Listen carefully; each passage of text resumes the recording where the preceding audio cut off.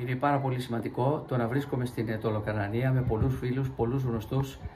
Τους είπα το εξής: ανοίξτε μου τα μάτια στα θέματα της περιοχής. Βοηθήστε με να μπορέσω, αν τελικά 9 του μηνός ο λαός πάρει την απόφασή του, να μπορέσω να στηρίξω την ε, περιοχή. Αυτές οι εκλογές είναι εκλογές αποφασιστικές, είναι εκλογές παρουσίας στην ε, κάλπη και αυτό έχει ιδιαίτερη σημασία. Η Ετωλοκαρνανία έχει θέματα, έχει προβλήματα, νομίζω ότι όλοι μαζί μπορούμε να τα πετύχουμε.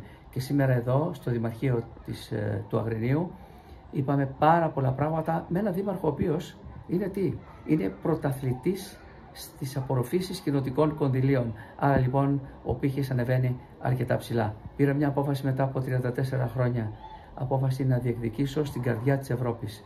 Το έκανα μαζί σας όλα αυτά τα χρόνια, θέλω να συνεχίσω και εκεί πάντα με τη δικιά σας βοήθεια.